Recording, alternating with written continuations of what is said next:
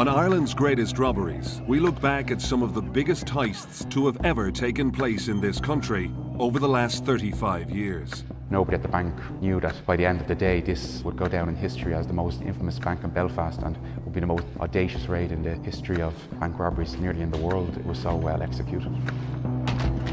The FBI were involved, Scotland Yard were involved, Interpol were involved, the Dutch police were involved, even the Turkish Secret Service were involved. Drop the gun! We examine how these raids were constructed, from the precision planning through to their execution and aftermath.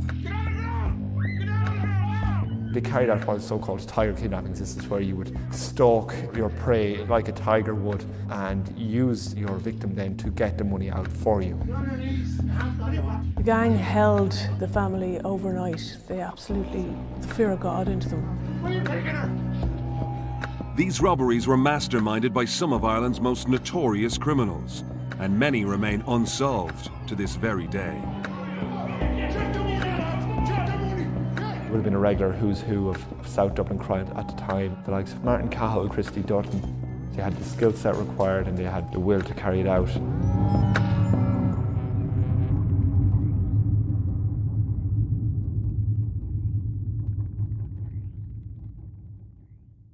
Tonight on Ireland's Greatest Robberies, we examine how one of Ireland's stately homes, Russborough House in Wicklow, became the subject of one of the greatest art heists this country has ever seen.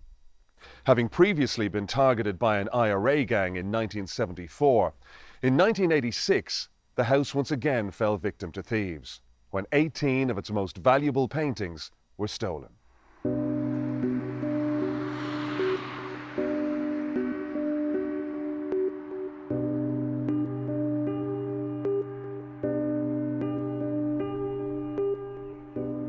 Russborough House is situated in Blessington, County Wicklow, and is reputed to be the longest house in Ireland. From end to end, it runs for 700 feet. In 1952, a wealthy businessman called Sir Alfred Beit spotted Russborough House in a country magazine. As was his like, he decided to buy it and lived in the house for a number of months throughout the year with his wife. A keen collector of expensive art, Sir Alfred used the house to store his valuable art collection, comprising works by many great artists. When Sir Alfred Beit, who was from a very powerful South African uh, mining family, the huge interests, were a very, very wealthy family. He was also a Conservative MP in the United Kingdom. He moved to live in Russborough House in the late 50s. And with him, he brought the Beit collection. The Beit collection contained, they were all Dutch masters uh, Metsu, Vermeer, but Vermeer's Lady Writing a Letter was one of only two in private hands in the world at the time, and the other private owner was Queen Elizabeth. And that Vermeer was worth about 20 million pounds back in 1985. Now, the collection was originally formed by his uncle, Alfred Beit, the first Alfred Beit, who, with Cecil Rhodes uh, back in the 19th century, formed the De Beers Diamond Mining Company, which was a fabulously uh, profitable business. And so he uh, would have been today, we would have called him a multi billionaire. So he used a lot of his money to buy art. But Sir Alfred uh, bought Russborough House in 1952 and restored it to keep his collection in and uh, we're very grateful that he did. With such valuable items being kept at Russborough House, it was somewhat surprising that Sir Alfred Beit and his wife managed to live there peacefully for 22 years. However, in the spring of 1974, that was about to change. A young English debutante called Rose Dugdale, who had rebelled against her wealthy upbringing and joined the Provisional IRA, targeted Russborough House. When the provisional IRA hit it in 1974. It was hit by Rose Dugdale. She was the millionaire heiress, an English woman who was radicalized, I suppose they'd say now, and uh, came over here and embraced the ideals of the Republican ideals and uh, hung out with the provos and their drinking haunts and became uh, a diehard absolute committed Republican. On the night of April 26, uh, 1974, Rose Dugdale and uh, three male IRA members um, called to Russborough House and tied up Sir Alfred Beit, who was 71 years old at the time, and his wife, and proceeded to target the paintings. Following the art raid on Russborough House, the IRA made a ransom demand in an attempt to have four members who had bombed London transferred to prison in Belfast in return for five of the most important paintings they had stolen. These attempts were unsuccessful, and the vast bulk of the paintings were recovered at property in County Cork, and Rose Dugdale was subsequently arrested and was later sentenced to eight years in prison. Twelve years after the IRA robbery of Russborough House, the house once again became the target of a criminal gang. A gang who were becoming infamous for their many armed robberies throughout the country. At the helm of this ruthless gang was a man who was well known to the Gardaí, Martin Cahill, otherwise known as the General. Martin Cahill was unique, uh, and that's perhaps the best word to use to describe the man in a nutshell. He was an extremely complex, complicated man of many, many contradictions and many, many aspects. On one hand, he was absolutely adored and loved by his family and his associates. On the other hand, he was a complete psychopath. What also marked him out from the rest of the pack, so to speak, in the whole pantheon of, of criminal godfathers we have seen in this country in the past 40 years, is that he, more than anybody else, took his war to the state. He went after the state every opportunity he got. Growing up in several tough parts of Dublin in the 1950s and 60s, along with his 15 brothers and sisters, the Cahill family had very little money, leaning Martin toward a life of crime from an early age. Martin Cahill grew up in a place called uh, Hollyfield Buildings. And from a sociological point of view, it was perhaps in the 1960s the last remaining squalid tenement complex in Dublin. That became effectively like a citadel for him. It was his castle, it was his kingdom, it was his stronghold. He only cared about the people from Hollyfield buildings. He described one time to Michael O'Higgins, who's now is a very eminent senior counsel when Michael was a journalist, how if you were at night, if you had a camera or you were able to look down on Hollyfield from a great height, it would like a little anthill because you could see all the little figures moving out of the anthill to go and rob and steal and burgle and do whatever they had to do. He grew up in that environment and literally they had nothing. They went out to rob, to steal food. And a number of his early convictions was it were doing exactly that. Stealing no more than bring home something to the family. And at a very tender age of 11 or 12, he finished up getting a two-year stretch in Daingean. Now that formed the young Martin Cahill. He was introduced to armed robbery by the Dunnes, in, and the Dunnes were the first family of the, the, the phenomenon we call organised crime in Ireland. But they introduced around 76, they introduced Cahill, because he grew up beside Cahill, the Dunnes. Um, they introduced him to armed robbery, brought him on a job in Rathfarnham, and he loved it. And he had a great flair for it. In 1986, Martin Cahill and his gang had not committed a robbery in over a year, and the crime boss was becoming anxious for his next big payday. However, with the Gardaí watching him closely, Cahill had to be sure that his next job would be worth his while.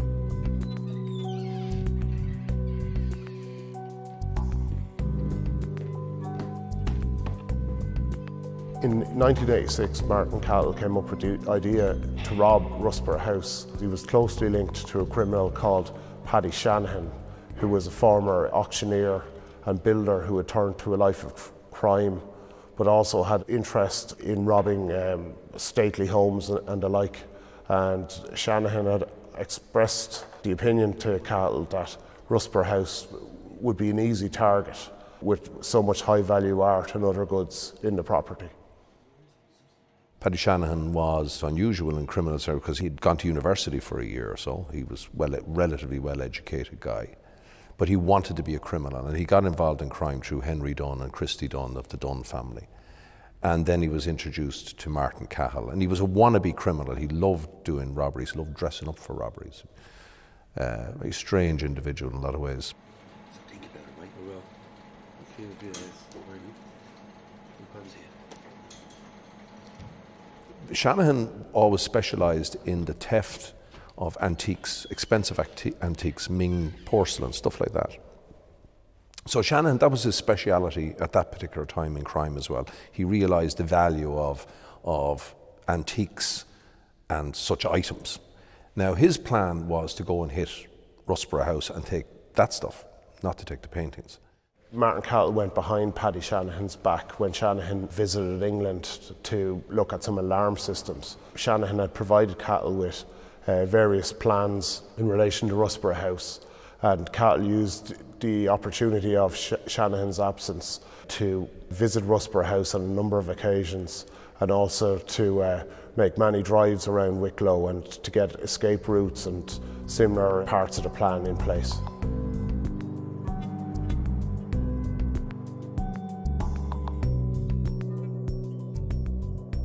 Martin Cahill began to spend the majority of his time meticulously planning the art heist on Russborough House, down to the finest detail.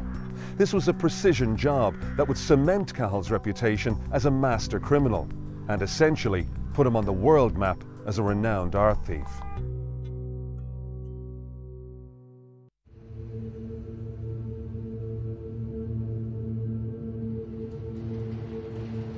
Once Martin Cahill had decided to take on the robbery of Russborough House himself, he spent much of early 1986 putting plans together for the raid, in order to leave no stone unturned, and most of all, no trace of evidence behind that could link him to the crime. Martin was known as the general, like I mean, and the reason he was regarded as the general was because, like I mean, the meticulous planning he put into the crimes that he committed. He himself would go out and he would carry out surveillance on any place that he was going to rob. And he would sit, if necessary, in a bush or a tree at night. He would sit in the dark all night long and watch the movements of a house that he intended to rob. Watch every light that went on in the house. Watch the movement of children as they came in and out, as teenagers came in and out uh, visitors to the house, car movements, you name it. He would everything uh, would have everything off to a T. Even if we only walk out with two of them, it's the most simple, easiest thing. Alarm system. Done. That's all it is. How would you know this? In the months leading up to the robbery, Cahill spent a lot of time travelling around the Dublin mountains on his Kawasaki Vista. He knew the mountains well having hidden many of the spoils from his previous robberies here over the years. Cahill studied the vicinity until he had a map of the area clear in his mind. He discovered a place in around February 1986 where to hide, uh, hide the paintings, located close enough to Russborough House in the Dublin Mountains, an ideal place to build a bunker. He built a bunker that was six feet deep five feet wide, which had blocks around it, which very few of his gang members um, were even aware of.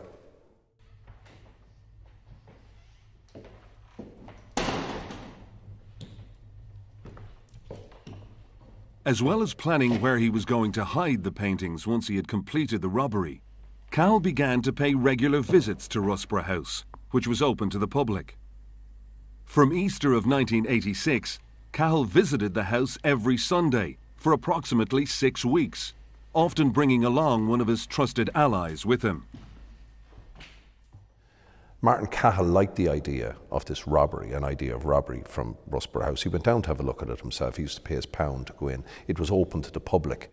He went down and he staked the place out just by looking at the stuff and got to know what the paintings were about. He was not a man uh, with any education or um, great love of art as we use the line in the movie, um, I don't know much about art, but I know what I like to steal art.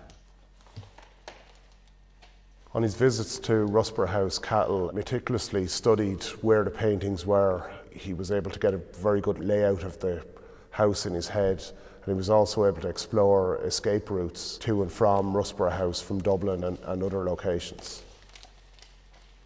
They'd been going up and down for six or seven weeks And Cahill himself had cased all the paintings that were worthwhile.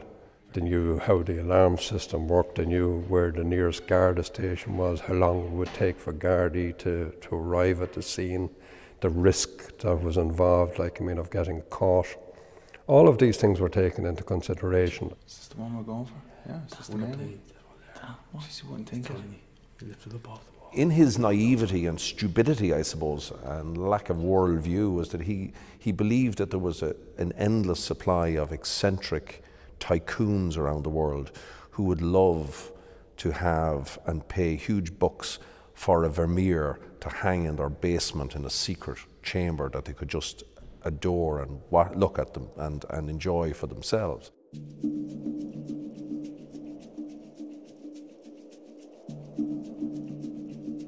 After several months of preparation, the night arrived for Cahill and his gang to carry out their raid.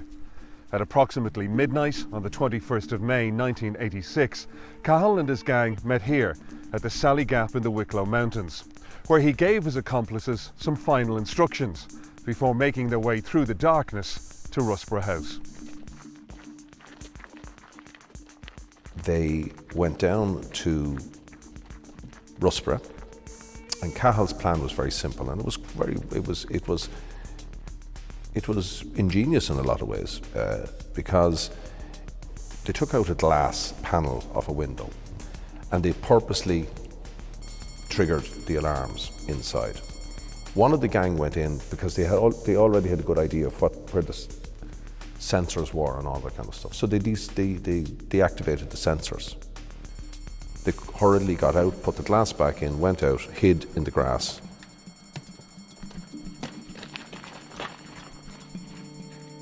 This was only a ruse to attract the, the Gardaís. Once the alarm was activated, Gardaí from Baltinglass uh, station, which is located uh, about 20 miles away, eventually uh, responded to it. There was a thorough search done, or so they claimed, and they had satisfied themselves that there was nothing untoward happening.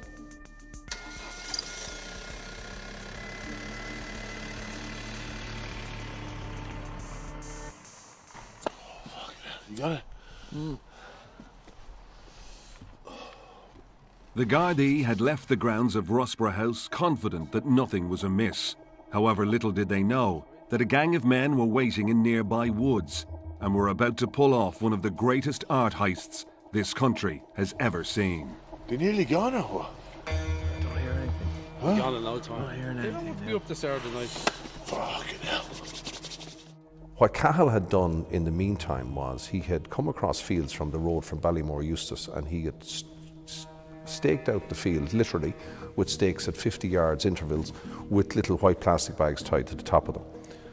He had two stolen jeeps with the gang way back offside. When the police left, he gave them the shout to come on, and the guys drove up in the dark through the fields between the, the markers. So they followed the plan and they arrived in the house and they took their time. There were hours there.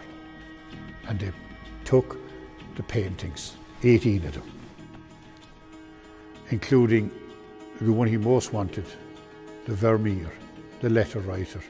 What's special about Vermeer is that he only there are only 34 pictures in existence by, by Vermeer today. And at the time that the, this one was stolen, it was the only one in private hands, unless you count the Queen's one as private hands as well. But now, of course, it's in the property of the state. And this particular painting is, there's nothing like it really to compare to it. It's, it's, it's the most valuable painting in Ireland today. And uh, if, I, if I was to auction it, uh, I would put 50 to 70 million estimate, and I would not be surprised if it got 100 million.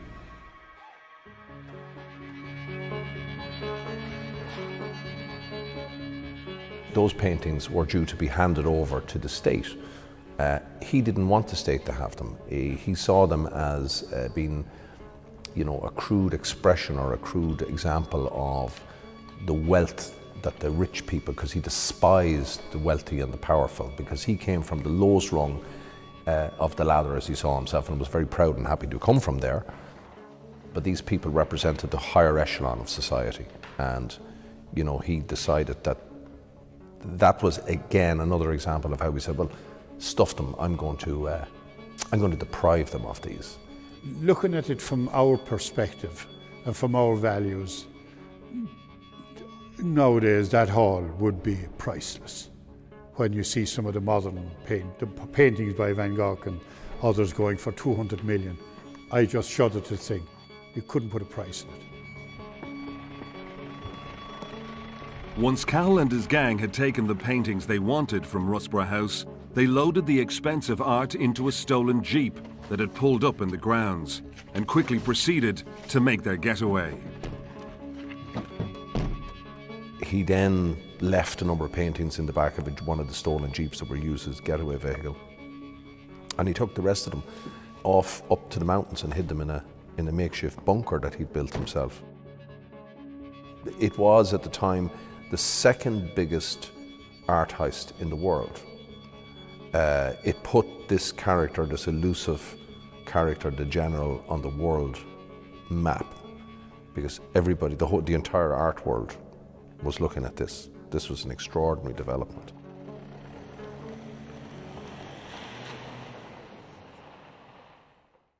Having dumped seven of the valuable paintings in Manor Kilbride, Cahill and several of his gang headed to the bunker that he had built here in the Dublin Mountains prior to the robbery to hide the remaining 11 paintings.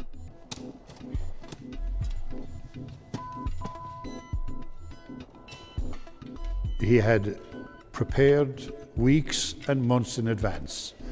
He drove into Killikee, the mountains overlooking uh, the city of Dublin at the south side and he had taken two of his most trusted lieutenants, this is prior to the raid, to dig a trench. And they dug a trench four foot, five foot by five foot deep, four foot, five foot in length. And they brought up material, they lined it with plastic and blocks and had timber covering it and other material. So it was an extraordinary clever hiding hole. After robbing the paintings, Cahill drove about 10 miles to Manor Kilbride, where seven paintings were simply dumped in the grass.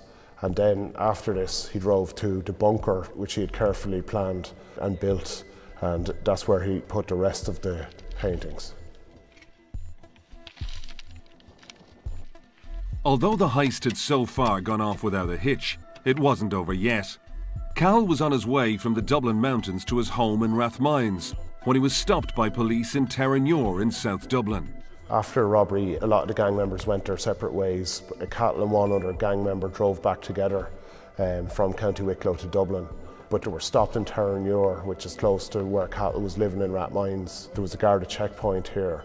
It was at this checkpoint that Cahill caused a scene when a Garda attempted to search him. What do you want? Depend on what Just go on the van and everything will be alright. You just play it easy, it'll be alright. Leave me alone. Do you see what he's doing to me? Do you see what he's doing to me? It's harassment. It's harassment, guard. You're always picking me. Why me? After this incident happened, Cahill drove straight to the nearby Rathmines Guard station, where he made a complaint about police harassment to local Gardaí about the incident in Terenure. This was the curious thing. Every time that Martin Cahill showed up at Rathmines Guard Station, you could be positive and certain that some massive stroke that he was going to be involved in was, was about to be or had been pulled. In the days following the Beit art robbery, many police forces and units became involved in the search for the 18 stolen paintings and in bringing those responsible to justice. Initially, the 1986 robbery was thought by the police to be uh, uh, done to order, and they actually thought the pictures had left the country and were somewhere in South America or in Russia or wherever. They had no idea where they were, but uh, it transpired as, as we, we, we, then discovered, and really only discovered when Cahill himself started uh, trying to sell the pictures. It was discovered that he was the, the architect of it all. The paintings were left there for weeks and of course, word got around, the biggest manhunt, it, consternation. it, in government circles. The cabinet met in emergency and hundreds of detectives on the case, but truly nothing emerged. There was no shred of evidence to link Martin Cahill. So meticulous and, and uh, had been his planning. Over the next 12 months, Cahill spent much of his time trying to sell off the valuable paintings. However, due to their worth and fame, this was no easy task for the man who was ultimately expecting to make millions from his now infamous art heist. Several of Cahill's accomplices believed that a jinx had been put on the Beit paintings, as they brought the gang nothing but trouble. The ga gang members would tell you that the, the uh, Beit paintings brought nothing but bad luck to the general and his gang, and ultimately brought them down and brought Cahill down. They became the subject of investigation by the FBI, Scotland Yard, Interpol, every law enforcement agency probably in the world had an interest in these because no matter where they went, anyone who came to them uh, were either someone acting on behalf of a law enforcement agency or war secret agents from a law enforcement agency trying to entrap them and catch them and because they were so difficult to sell. The most important thing with valuable paintings like this not just the paint, but the second most important thing after the painting itself would be the provenance. And the provenance is its history of ownership. So it's very important to know to get the provenance. The provenance is a direct line from the artist who uh, owned it originally and uh, then who he sold it to and who that person passed it to or whatever. Jesus, look at the amount of attention we'll have to bring upon ourselves. Jesus. Nobody knows where we are. What? Nobody knows where paintings are. Maybe been to your gaff to look in your basement. He knew he'd have difficulty offloading this hall. It would be extraordinarily hard to fence. Unlike other materials like gold and silver bars and jewellery, this is, this is traceable. Every art historian and every art uh, unit of police forces around the world flash around the world when there's a, theft of art as, as important, as nationally important as the ones that Cahill took. I said to you when we had that meeting, I said, right, how are we going to get rid of the paintings? Yeah. Jesus Christ, now, look, look, look everyone knows. We'll, we'll never question we can't get, but this, this is a situation we can't get out While the paintings were perhaps easy to rob, they were extremely, very difficult to sell. And it was very, very hard to find a buyer, and this led to maybe a sense of increasing desperation in the months and years ahead for Cahill Landy's gang. It'll have to be cash in hand, like. Yeah. Of course, it's your what, what have we got to do with the album? We, we said, you know, we said, look, we have a clue about that. There are fences everywhere. On August 29, 1987, in an act of defiance against the Gardaí for pursuing him for the Russborough art robbery, Martin Cahill broke into the offices of the Director of Public Prosecutions, which at the time was located here on Stephen's Green in Dublin city centre. He stole a number of important files, including one on the death of his brother Paddy in 1986. These files would become valuable currency in the criminal underworld. Martin Cahill after the Beit paintings, took a serious interest in the office of the DPP. It gives you some idea that of the, as I call it, the mastermind of this criminal called the General, that he would contemplate a break in at the sacrosanct, hallowed offices of the DPP, the law officer of the state some months earlier, a man had been acquitted of murdering Cahill's brother in Ballyfermot, and there was a certain belief that um, Cahill felt very annoyed with the state. When Cahill broke into the office, he stole a, a large number of valuable, sensitive files which detailed such crimes as uh, armed robberies, burglaries, drug dealing, and in fact, many crimes that Cahill and his gang were involved in. Nobody in that I know in, in the Garda Síochána could specifically, or in the DPP's office, ever, ever stated just how many files he stole. Some say 100, some say 300, but it was a lot. Martin Cahill had embarrassed the police force yet again and ultimately left them at the mercy of several figures from the criminal underworld. As a result, the Gardaí began to set up sting operations to bring the crime boss down once and for all. Martin Cahill had remained a free man since he stole 18 paintings from Russborough House in May 1986. Several of the paintings had been located in countries such as Britain and France, but Gardaí still had no evidence to link Cahill to the crime. In September 1987, Gardaí decided that drastic measures needed to be taken, resulting in a sting operation with a Dutch fraudster, who, in return for charges being dropped against him, offered to come to Ireland and help bring Martin Cahill down. The uh, police got wind of another, the Dutch police now, got wind of another, of another sting uh, of trying to offload the paintings. And they had a, a guy on their payroll, a villain himself, called Van Schoik. And uh, with the aid of undercover Dutch police officers, they decided, yes, that they'd go ahead with this. And there was this extraordinary, detailed, perfectly worked out plan. I wasn't privy to it at that organisation stage, only towards the end of it. But it was known as Operation Killikee. Van Schoik arrived in and he booked into the hotel and he was followed from the time he entered the country. Through the Dutch fraudster, a meeting was organised with Cahill's gang under the pretense of buying some of the paintings. On the 27th of September 1987, Operation Killikee was ready to go. The undercover officer acting as an art expert was brought up to the Wicklow Mountains by Cahill's close accomplice, where Cahill and several of his gang members were waiting. However, unbeknown to them, with the help of Scotland Yard, a British surveillance helicopter was hovering overhead and the Gardaí were waiting nearby to make their move. The plan was for the Gardaí to be able to arrest Cahill as he was in the process of selling paintings to the undercover agent in the Dublin mountains. This plan completely backfired in a very farcical way. The undercover officer on the ground was able to communicate with that aircraft overhead.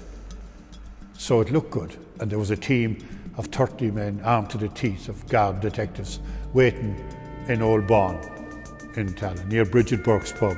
I, I will take them. I, will definitely take them. But no, I, have said that I would. But I just that you know, it's, it's, what are you doing?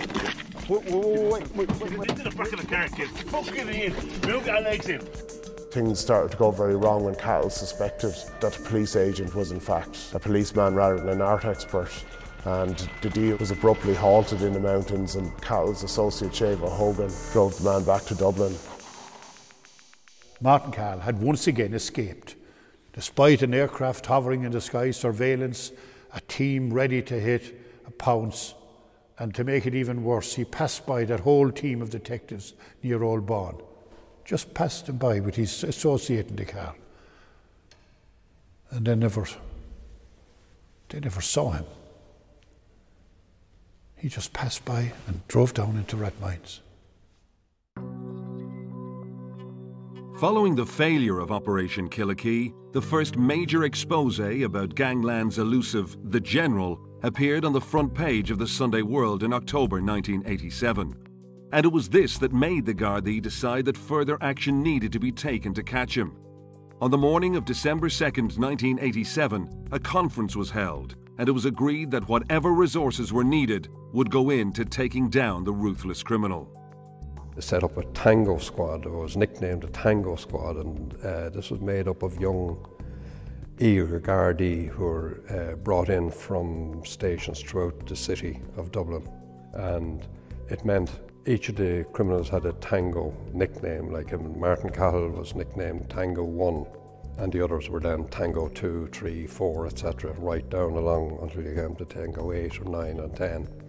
Basically, because of Superintendent Ryan and a chief superintendent in charge of the city, and both had seen the danger that Cahill posed to society, and both had been as vociferous and relentless in their campaign for a special unit to be set up to tackle the scourge of Cahill and his gang.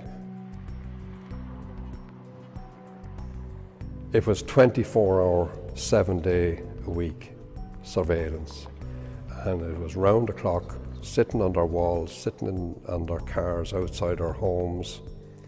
Everywhere they moved, if they got out and walked, if they got on a bus, any mode of transport, they were followed by the police, no matter where they went. So, in other words, they couldn't operate, they suffocated them.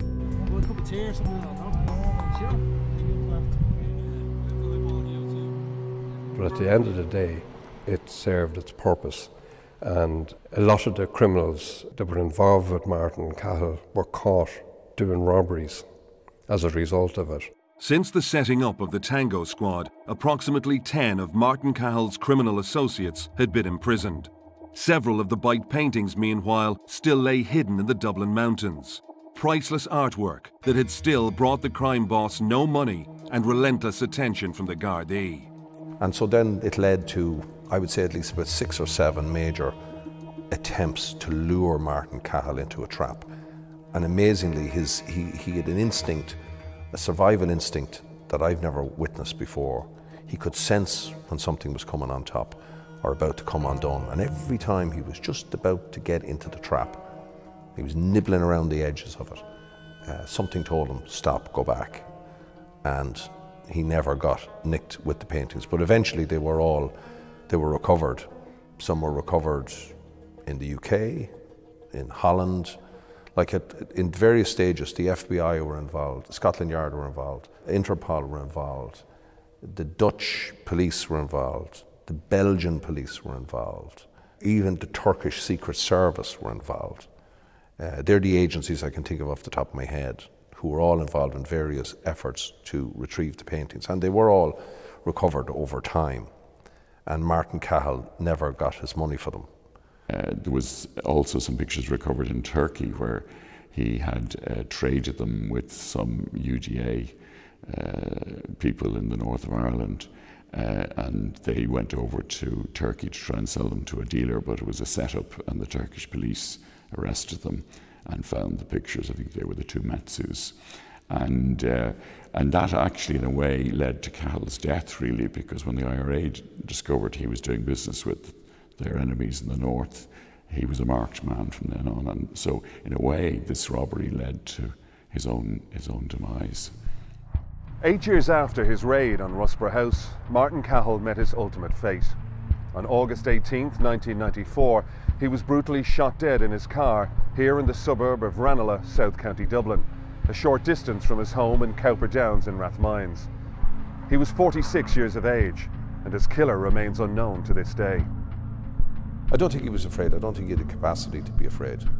Um, if anyone crossed him, he took them on. He was certainly not afraid of provisional IRA when everybody else would. Like, remember, the British Army, one of the most sophisticated armies in the world, were effectively at war with the provisional IRA. And here was a, a fat, rotund, diabetic, semi literate thug from Hollyfield Buildings in Rathmines prepared to take the might of the so called IRA on. And he did effectively take them on. They were afraid of him and they backed down because he showed he had the bottle to take them on. And he had fellas around him who had the bottle to take them on as well. He had to shoot them. And I think ultimately that's what led to his death, and they never forgot it. On the day that Martin Cahill met his maker, cars and detectives and motorcycles came from, from all over the city it was an extraordinary evening that the enemy that we had hunted for so long was no more. The general had been gunned down, mercilessly assassinated in cold blood. Two men had waited for him, wearing corporation outfits with boards while they were doing a traffic check. And as Ed Martin pulled up in his little car, they ran into the driver's door and they pumped bullets into him. And as the car was crossing the road out of control, crashing into the railings across the main road, they followed him and they pumped another two slugs into him. And I spoke to a gardener that evening who was working, and he said they were smiling and laughing as they drove away. Russborough House became the subject of two more heists in June 2001 and again in September 2002.